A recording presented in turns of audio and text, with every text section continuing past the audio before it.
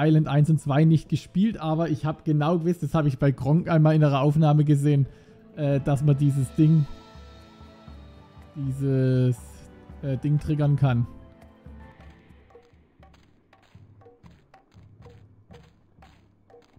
So, und jetzt sind wir hier Dieses in diesem... Dorf ist verlassen. Und trotzdem sieht es so aus, als würde es ein großes Fest geben.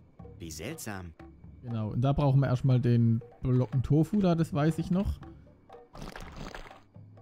So, und jetzt brauchen wir nämlich aus dem Hotel den Käse.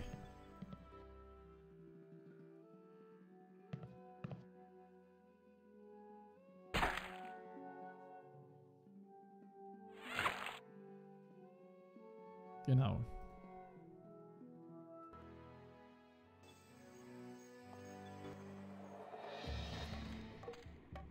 Und jetzt müssen wir nämlich noch Das den... sieht wie eine Maske aus. Genau.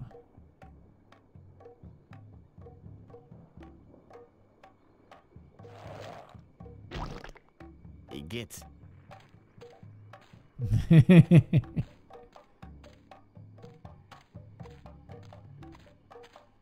Ich weiß nicht, was ich mit dem Obst anfangen soll. so, Holzbohrer, den brauchen wir, glaube ich, noch. Vielleicht später. Vielleicht später. Holzbohrer. Meinte ich nicht, brauchen wir die auch noch? Holzbohrer und Ding, die stehen, glaube ich, nicht umsonst da. Ich bin mir jetzt aber nicht ganz sicher. So, also ich weiß jetzt, wir müssen der Zeremonie da oben beiwohnen und dann den Käse in den Vulkan schmeißen. Das weiß ich noch.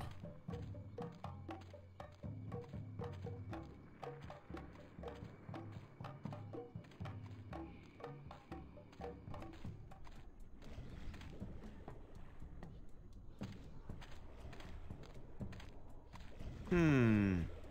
Hm. Endlich bist du da. Komm her, wir sind spät dran mit dem Opfer. Gott des Vulkans im Innern des Mount Sodbrand. Nimm dieses Opfer, das wir dir darbringen. In Form von Fleisch mit hohem Anteil an Fasern und bekömmlicher Zellulose. Frei von allem Fett und ungesättigten Fettsäuren. Dass es dich nährt und dein Wohlwollen über unser bescheidenes Dorf bringe. Und dass deine eitrige Kraterbeule nicht in Wallung komme. Okay, Jungs, schmeißt ihn rein. Ihr wart ein wunderbares Publikum. Danke und gute Nacht. Danke und gute Nacht. Und jetzt werden wir erstmal ein paar Marshmallows rösten über Ding.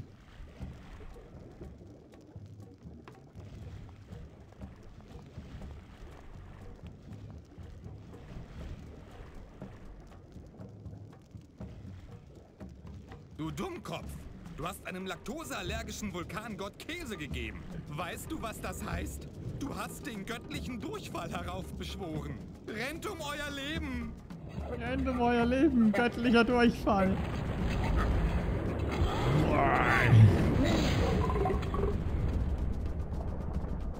Genau, und jetzt läuft nämlich die Lava unterm Grill durch, dass wir nachher auf diesem Topf was kochen können. Das habe ich nämlich noch gewusst. Und jetzt haben wir diesen schönen Lavafluss da, der einmal quer durch die Insel geht, aber keinen von unseren... Uh, das war spektakulärer, als ich gehofft hatte. Genau. So, kann ich jetzt den Holzbohrer mitnehmen? Ja, kann ich jetzt den Messbecher mitnehmen? Jawohl, ja. Warmhalteplatte. Kann ich die noch mitnehmen? Hm, nein. Genau, die Antwort habe ich auch erwartet.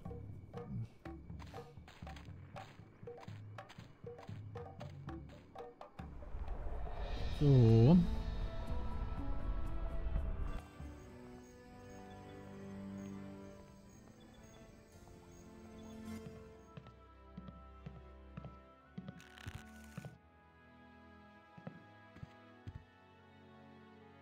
Jetzt muss ich gucken. Und zwar...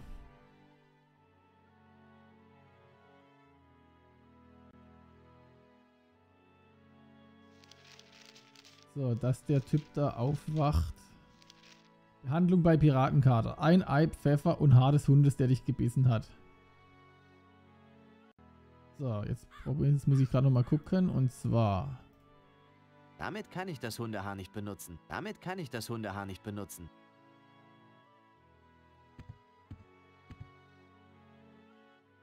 Barmann. Wahrscheinlich muss ich erst mit ihm reden und ihm dann die Zutaten bringen, oder? Ich weiß es nicht mehr ganz genau, Was aber wir ich finden es raus. Hol mir einfach die Zutaten für ein Mittel gegen Kater und ich werde mit dir reden.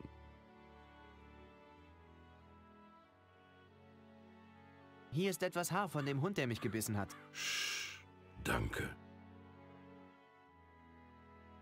Hier ist eine wilde Pfefferschote fürs Antikatermittel. Sch, danke. Und ein Ei. Ich habe dieses Ei fürs Antikatermittel gefunden. Sch, danke. Alle Zutaten, die ich drei- benötige. ich hab drei Zuschauer, sehe ich jetzt gerade. Hammerhart.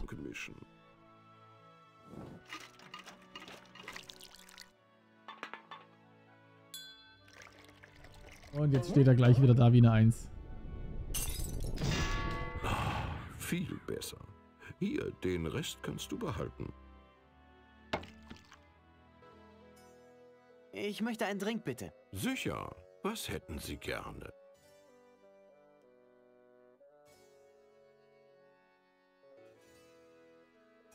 Geben Sie mir etwas, wovon ich Haare auf der Brust bekomme. Ich habe genau das Richtige für Sie. Er ist nicht nur erfrischend, er ist außerdem eine regenerative, alternative Energiequelle. Was?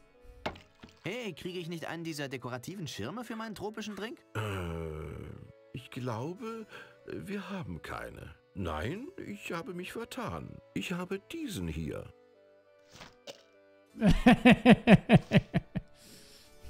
so witzig das jetzt auch kommt, aber den brauchen wir später auch noch. So, Rü B frei, okay. Und wir haben einen Schirm. Die aufgeblähte Zecke, kann ich die mitnehmen? Nee, die kann ich nur trinken. Okay. Ja, Papa Pichu. Hier hast du deinen Becher zurück. So, schon wieder falscher Knopf. Ich glaube nicht, dass wir uns kennen. Wer sind Sie? Ich bin Grieswald, letzter der Meistersuppes und Eigentümer dieses Hotels. Sie haben vielleicht von uns und unserem Suppenrestaurant Imperium gehört, das sich über die ganze Karibik erstreckt. Nun, Hm, das war einst unser prächtigster Erholungsort. Aber es hat seine ganze Popularität verloren, nachdem die regelmäßigen Eruptionen von Mount Sodbrand aufgehört hatten. der Vulkan ist ausgebrochen. Ja, ich weiß, das Meistersuppe-Imperium ist gerettet. Nun, das freut mich für Sie. Bald wird das Hotel mit Touristen überflutet sein, die den Vulkan sehen wollen. Und ich kann endlich die Show veranstalten, an der ich zuletzt arbeitete, als wir noch Gäste hatten. Was für eine Show ist das? Voulez-vous Vichyssoise, ein dramatisches Musical über eine talentierte junge Suppenköchin aus Paris, die auf grausame Weise für ihre revolutionären Ideen der Suppenzubereitung von der Pariser Vereinigung der Köche zerlegt wird. Das wird bestimmt ein großer Hit. Was wissen Sie über den verlorenen Ring von Blood Island? Ah, das ist ein sehr trauriges Kapitel in der Geschichte meiner Familie. Meine Großtante, Minestrone Meistersuppe, war ein gut situiertes Mitglied der Blood Island Gesellschaft. Ihre einzige Schwäche war ihre romantische Art. Sie hatte etwas übrig für Piraten und für einen davon ganz besonders. Er kam in den Hafen, sie verliebte sich auf der Stelle und innerhalb einer Woche waren sie verlobt. Dann, am Abend vor ihrer Hochzeit, stahl er den fantastischen Meistersuppe-Diamanten von ihrem Ring und verkaufte ihn an Schmuggler auf der Totenkopfinsel. Sie trug den leeren Verlobungsring an ihrem Finger bis zu dem Tag, an dem sie starb, welcher nicht viel später war. Manche sagen, dass sie immer noch in der Gruft der Familie Meistersuppe spukt. Es ist eine traurige Geschichte, oder? Oh, Entschuldigung, ich habe nicht zugehört. Können Sie das wiederholen? Oh, bloß absuppen, Kasper! Wie komme ich rüber zur Totenkopfinsel? Nun, es gab eine regelmäßige Fähre zur Totenkopfinsel. Gab es? Ja, in einer kalten Nacht, so erzählt man sich, stach der Waliser in seinem Ruderboot in See. Der dichte Nebel um die Totenkopfinsel verdeckte sogar den Mond. Aber der Waliser konnte das entfernte Licht des Leuchtturms von Blood Island sehen. Als er die halbe Distanz gerudert hatte, zersprang das Licht des Leuchtturms auf mysteriöse Weise. Und der arme Waliser war verloren und wurde beinahe nie mehr gesehen. Beinahe? Nun, es gibt einige, die sagen, dass spät in der Nacht, wenn man lange genug in den Nebel starrt, der fliegende Waliser zu sehen ist, wie er in seinem Ruderboot fährt, verloren bis in alle Ewigkeit. Gruselig. Jo. Wie läuft das Geschäft? Oh, das ist einfach wunderbar. Jetzt, wo der Vulkan wieder ausgebrochen ist, werden wir mit Reservierungen überschüttet. Bald wird jedes Zimmer des Hotels ausgebucht sein. Alle, bis auf dieses eine Zimmer. Das Zimmer mit dem Gast, der niemals ging. Wird das gruselig? Ich warne Sie. Jede Nacht hörten wir seltsame Geräusche aus diesem Zimmer kommen. Schreckliche, fürchterliche Geräusche, die das ganze Hotel erschütterten. Jedes gefolgt von schlimmsten Schreien und Flüchen. Dann, eines Nachts, hörten die Geräusche einfach auf. Und ein furchterregendes Jammern und Klagen trat an ihre Stelle.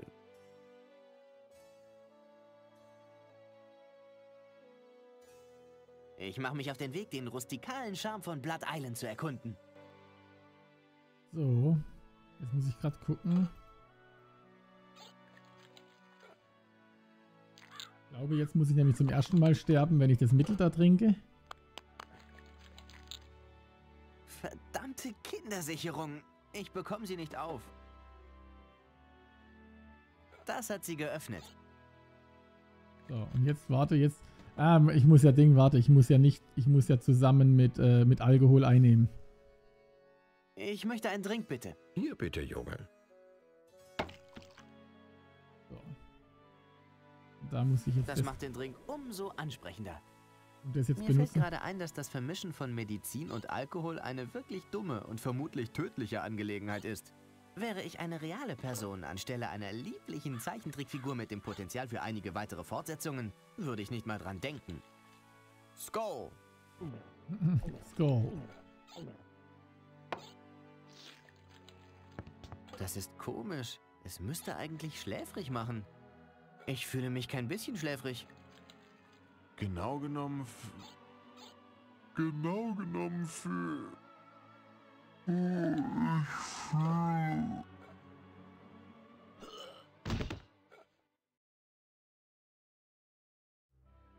Sagte also der Leichenbestatter? Ich wollte ein Sargträger werden, aber ich bekam Asthma von der feuchten Erde.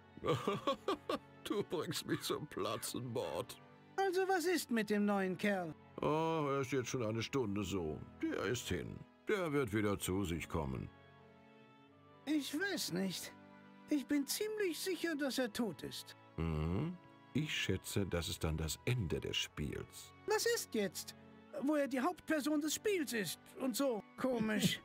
Ich dachte, man kann in Adventures von LucasArts gar nicht sterben. Vielleicht probieren die jetzt was Neues.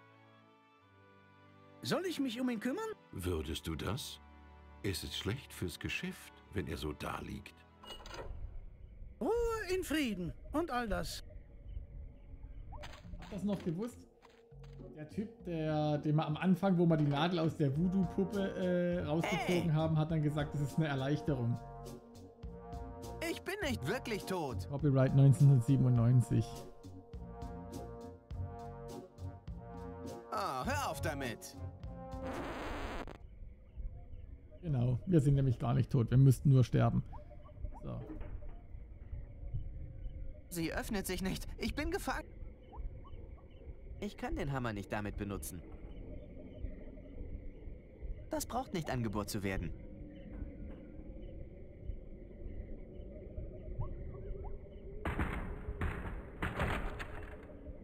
Also ich hätte jetzt da auch eher das Ding benutzt. Hoch? Wo kommt dieses verräterische Hämmern her? Es kommt aus einem der Särge. Von den Toten. Von den Toten, die mich umgeben. Sie müssen mein schreckliches Geheimnis kennen. Sie werden mich nie ruhen lassen, bis ich für das Unrecht, das ich begangen habe, bezahlt habe. Ein Moment mal, ich habe gar kein schreckliches Geheimnis.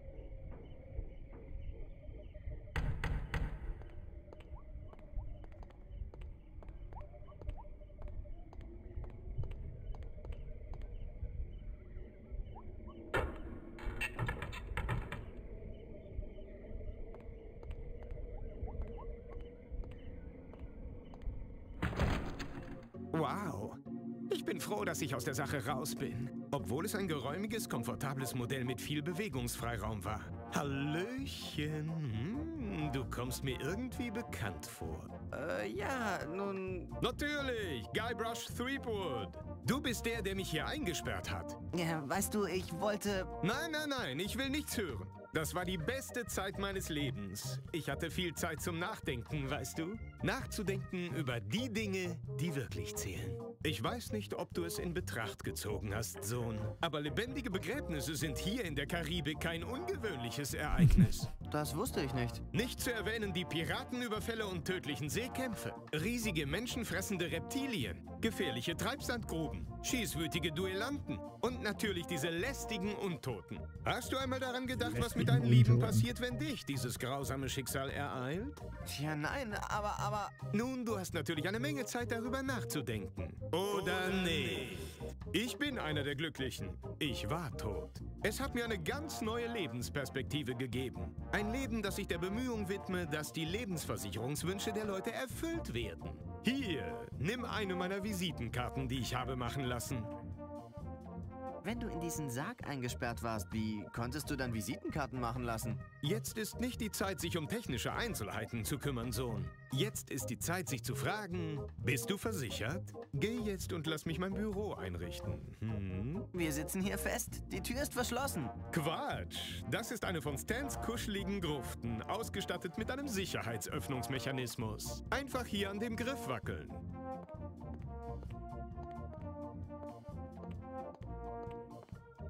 Stans Sicherheitsgruften. So, jetzt müssen wir die Nägel dann noch mitnehmen. Soll ich den Skelettarm da noch mitnehmen? Ich habe schon einen schönen Skelettarm, danke sehr. Die Nägel brauchen wir auf jeden Fall.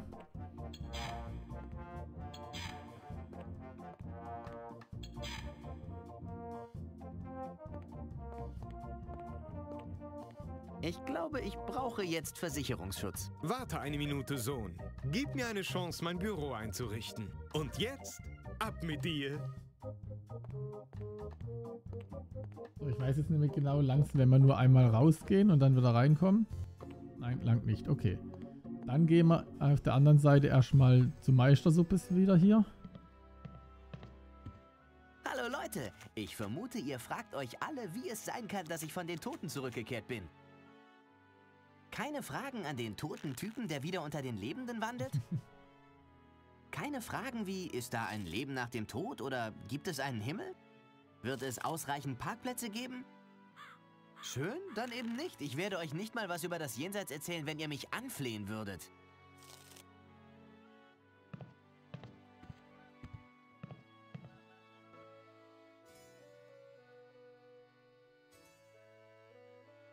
Ich dachte, wenn ich sterbe, werde ich bei ihrer Tante beerdigt. Nun, ist das nicht einleuchtend? Man kann nicht in der Familiengruft der Meistersuppes beerdigt werden, wenn man kein Mitglied der Familie Meistersuppe ist. Ein Mitglied der Familie, was?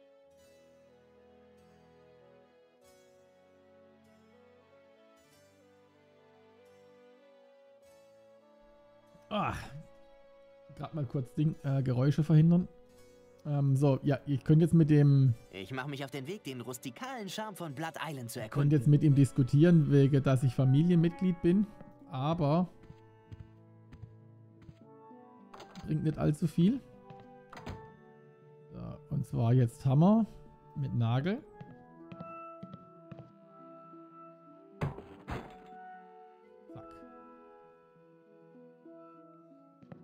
Ich habe keine Verwendung für die Post. Es ist ein Haufen alter Porträts der Familie von Salat. Von Salat. Noch irgendwas? Nee, okay.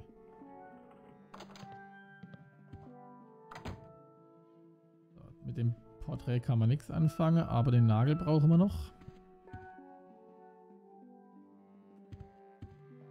Hervas Droneheim Meistersuppe, Baronin von Borscht. Borscht. Peter und Victoria Soße Meistersuppe, Graf und Gräfin von Konsum. Von Konsum, ja. Ah, sicherlich, ja. So, und zwar, jetzt weiß ich nämlich noch, wir müssen an das Buch, was auf der Leiche da rumliegt.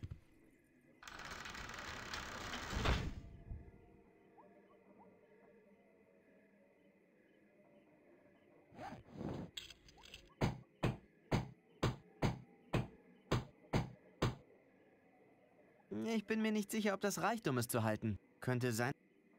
Ja, und jetzt brauchen wir nochmal den einzelnen Nagel, nochmal als Sicherheit.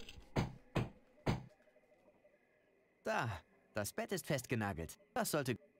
Genau, so, und jetzt können wir nämlich das Buch da nehmen. So. Also, warte mal, können wir das Skelett noch angucken da? Ui, ich wette, seine Zimmermiete ist bis heute auf eine gewaltige Summe angewachsen. Genau. So, und jetzt können wir nochmal hier mit Ding. Ah, nee, halt. Onkel Griswold, ich bin es. Erkennst du mich nicht? Sie erkennen? Ich habe Sie noch nie im Leben gesehen. Wie ist Ihr Name? Matt mit Kartoffel. Matt mit Kartoffel? Ich bin von gutbürgerlicher Herkunft. Hm. Ich kann mich nicht an Verwandte mit diesem Namen erinnern. Ich mache mich auf den Weg, den rustikalen Charme von Blood Island zu erkunden. So, Meistersuppes Familiengeschichte. Mein Pirateninstinkt sagt mir, ich sollte es bei mir behalten.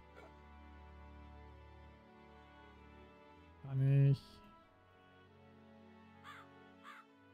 Es ist voll von Daten und lustigen Fakten, die man schon immer über die Meistersuppe-Familie wissen wollte. Und da steht, ich erhalte jeden Monat ein neues Buch oder kündige ohne Kaufzwang und behalte meine Ausgabe von Freibeuter und Fruchtbowle. Es ist voll von Daten und lustigen Fakten, die man schon immer über die Meistersuppe-Familie wissen wollte.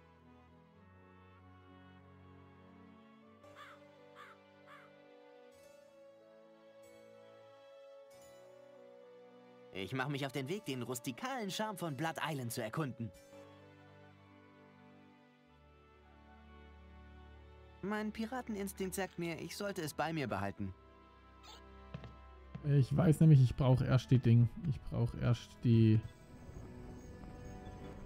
So, warte, jetzt gehen wir mal zum Friedhof. Ah ja, jetzt hat nämlich Stan sein Büro. Willkommen zurück bei Stans Allgemeiner.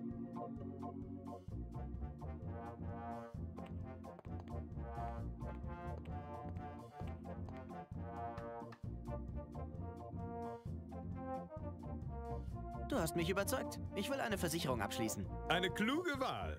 Und eine, die du nicht so schnell bereuen wirst. Die Frage ist nicht, ob du dir eine Versicherungspolice leisten kannst oder nicht, sondern ob du es dir leisten kannst, keine zu haben. Wo wir gerade dabei sind. Kannst du dir eine Versicherungspolice leisten? Nun, wie viel kostet sie denn? Oh, das hängt von einer Reihe Faktoren ab.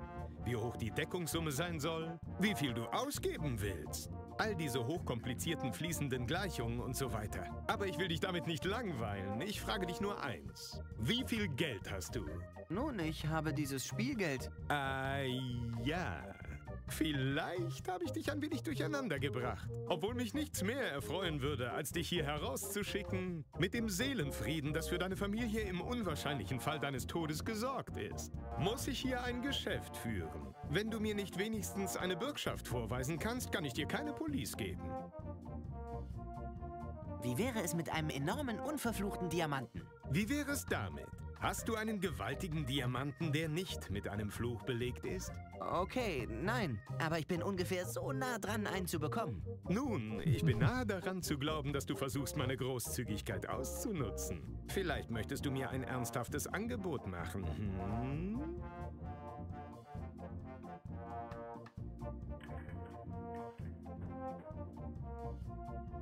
Dieses authentische Piratenüberbleibsel. Ein originaler Zahn eines echten Piraten. Einzigartig.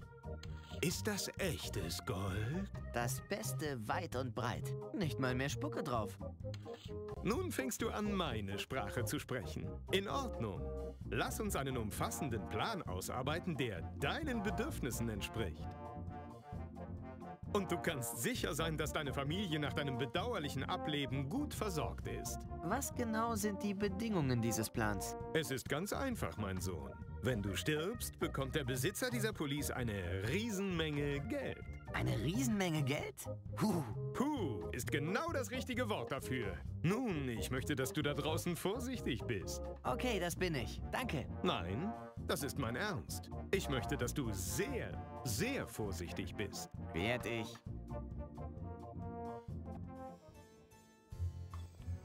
Genau.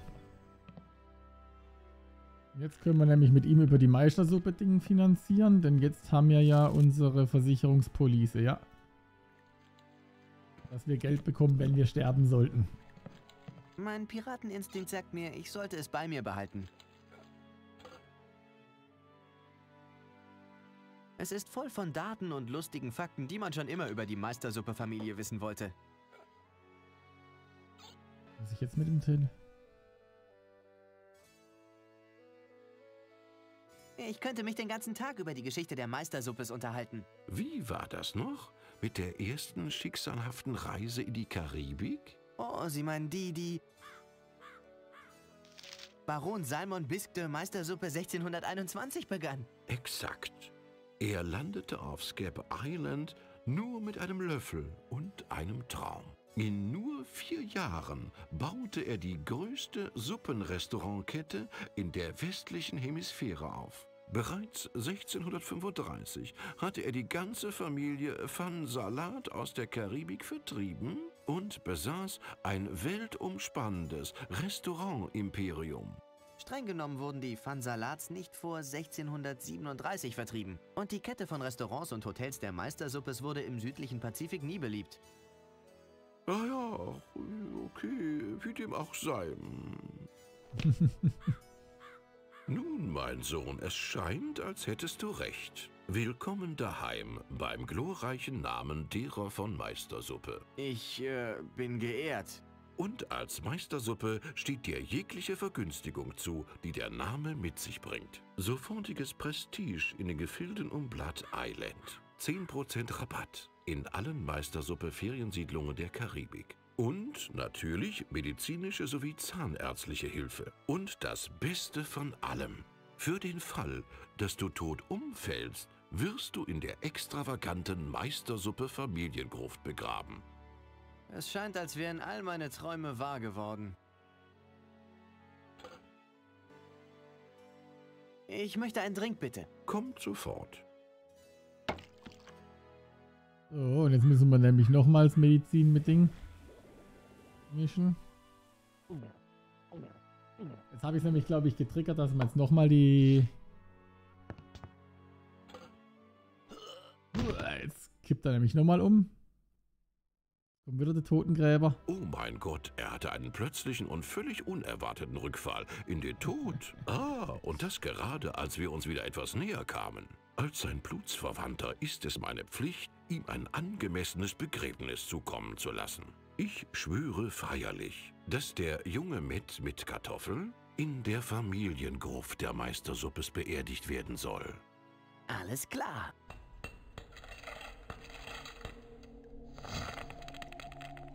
Genau, Matt mit Kartoffel. So. Und da ist jetzt nämlich genau die, die den äh, Ring hat. Es ist eine Gedenktafel für Mini Strone Meistersuppe. Huch, Geisterbraut. es ist ein Geist im Hochzeitskleid. Sie sieht sehr traurig und einsam aus. Oh, hallo. Wer bist du und was machst du hier? Ich bin Mini Meistersuppe. Letzte in einer langen Reihe von Meistersuppe-Debütantinnen. Ich wurde hier exakt eine Woche nach meinem Hochzeitstag beerdigt. Ein Hochzeitstag, der nie kam. Was ist geschehen? Ich war die Inselschönheit von Blood Island. Wie viele Leute können das von sich behaupten? Oh, wie die Jungs mich anhimmelten. Mir wurde von den reichsten und schönsten Männern der Karibik der Hof gemacht. Aber alle Bewerber waren totlangweilig. Ich wollte einen gefährlichen, Ich wollte einen Piraten. Sag mal, wie verdienst du eigentlich dein Geld? Fußbodeninspektor. Oh, dann eines Tages segelte ein richtiger Pirat mit seinem Schiff in die Bucht. Ich wurde sofort schwach und wir verlobten uns.